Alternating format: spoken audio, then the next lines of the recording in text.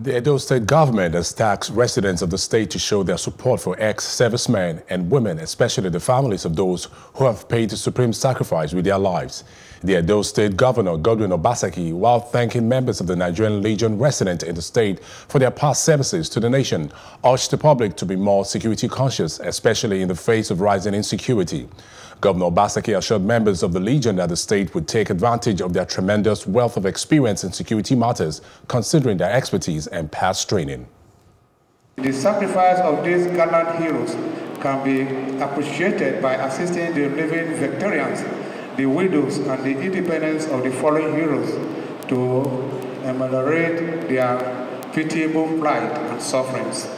For our able-bodied veteran, we hereby remind your Excellency, that we are retired from security services, but not tired. We, as an old group that knows the corners of the house better. I seize this opportunity to appeal to the good people of Edo State to be security conscious at all times. You are witnesses to the spate of arson, um, arson which has resulted in the burning of uh, market, marketplaces and government buildings. Uh, we want to call on our citizens to be more alert uh, so that we can curb malfeasance such as that, these.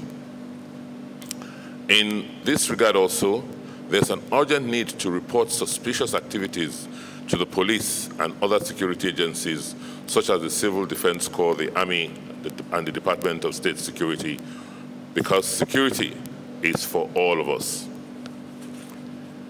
The time has come for us as stakeholders in the Nigerian project to join hands with government to promote the welfare of the Legion of ex-servicemen and their families because these are people who have paid the supreme sacrifice to keep our country.